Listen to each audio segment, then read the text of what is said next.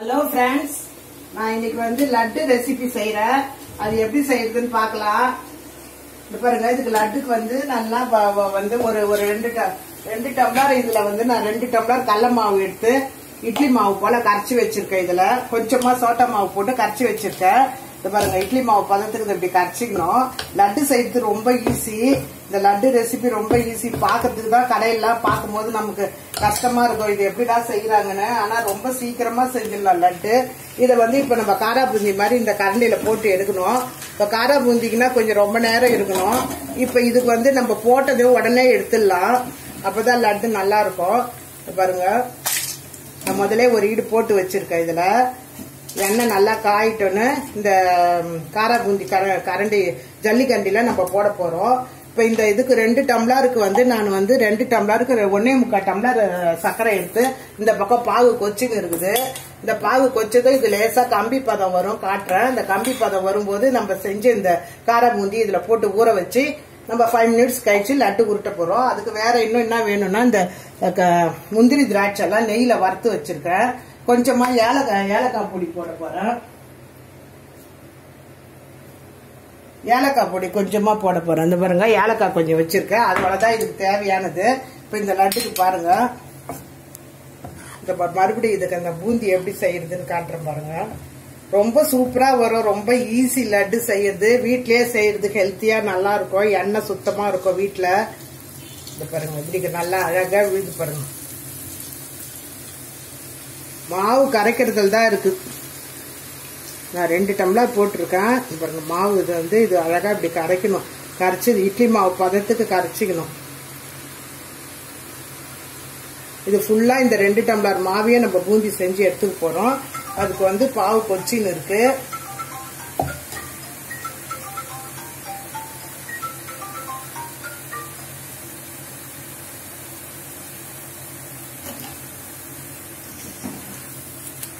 வேகுது. நம்ம பாவு பார்க்கலாம். இந்த ரெண்டு டம்ளருக்கு ஒரு டம்ளர் தண்ணி வச்சிருக்கேன்.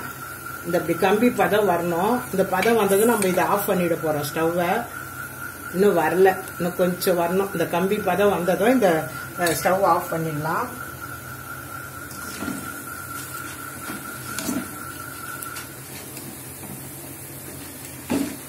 இது கொஞ்சம் நே- கொஞ்ச நேரம் விட்டோம்னா கரகரன்னு ஆயிடும். அதான் கார பூந்தி இப்ப இது நம்ம லட்டுக்கு வந்து இந்த இதெல்லாம் வந்து ஷேப்புக்கு மாறினா கூட கஷ்டம் இல்லை.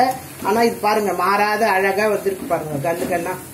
பாரு எவ்வளவு நல்லா ரவுண்ட் ரவுண்ட் ரவுண்டா தெரியுது பாருங்க.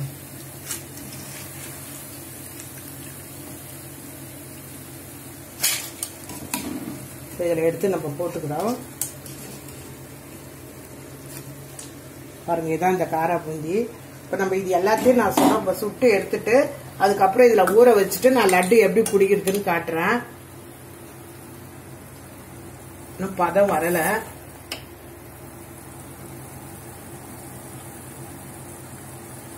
கொஞ்ச நேரம் இருக்கணும். இதில் இன்னும் ஒரு கண்டி போடுறேன்.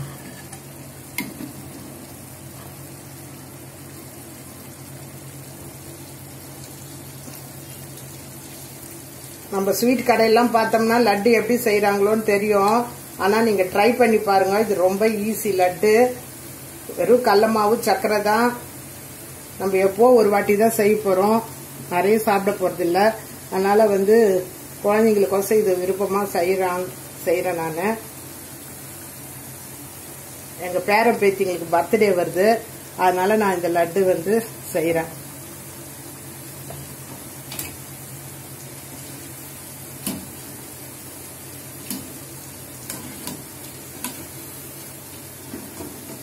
பதம் பார்க்கலாம் அந்த பதம் வந்துருச்சான்னு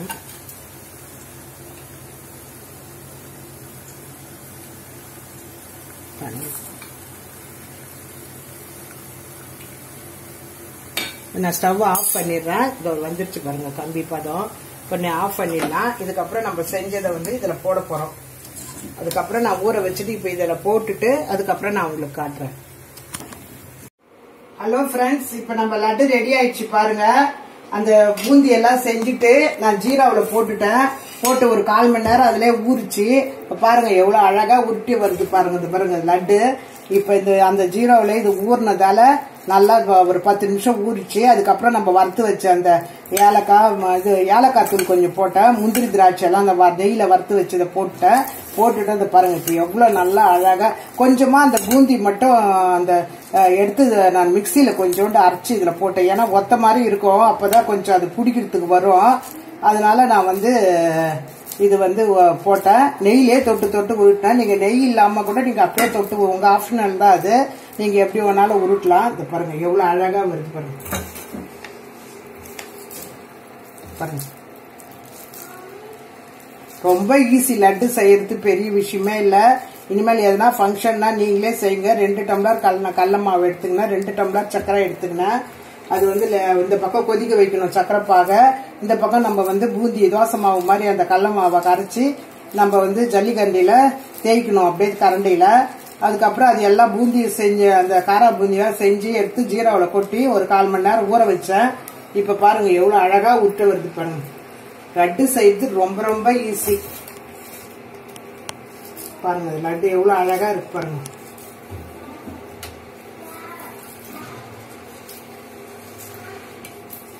நீங்க இது மாதிரி செஞ்சு பாருங்க. இந்த லட்டு பிடிச்சதுன்னா லைக் பண்ணுங்க சப்ஸ்கிரைப் பண்ணுங்க சப்ஸ்கிரைப் பண்ணுங்க.